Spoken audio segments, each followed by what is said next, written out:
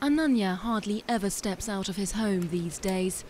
In recent months, the 25 year old blogger has received several death threats, all for denouncing religious extremism on social networks. This is the latest threat I received, and this is what it says. If you want to save your head, come back to God. This is the last warning. When I read this post, I panicked. I freaked out. But I decided not to tell my family about all this. Intimidation doled out by radical Islamists. Ananya doesn't take these threats lightly. In 2003, his father, Humayun Azad, now a deceased famous writer, was attacked with a machete in the street.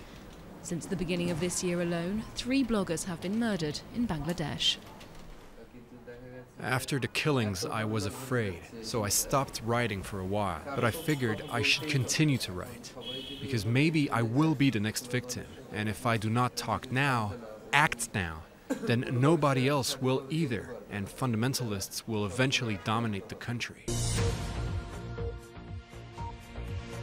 লেখক অভিজিৎ রায় হত্যাকাণ্ডের আড়াই মাসের মাথায় এবার সিলেটে খুন হলেন অনন্ত বিজয় দাস আরেক blogger Ananta Bijoy Das, Washikur Rahman, Avijit Roy.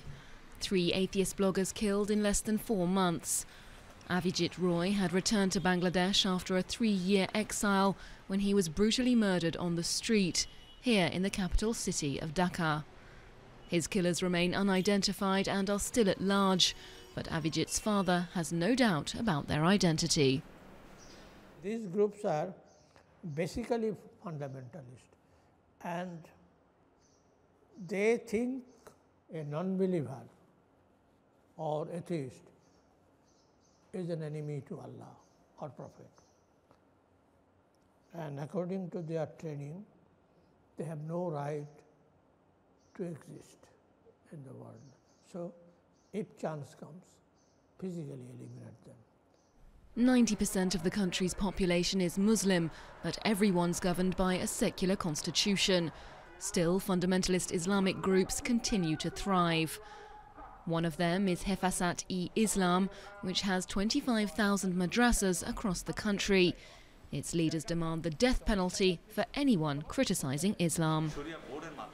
We would like to make an Islamic committee that will suggest new laws to the government.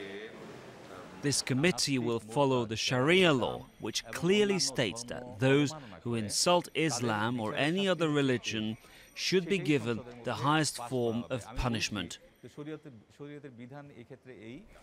Faced with weakening political authority, the Islamist movement seeks to assert itself through all means, including violence.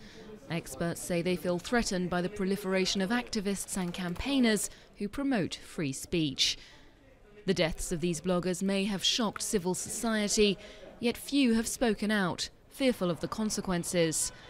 Beyond seeking justice for these murders, the secular government in power has insisted it will fight relentlessly to counter the fundamentalist Islamic threat in Bangladesh.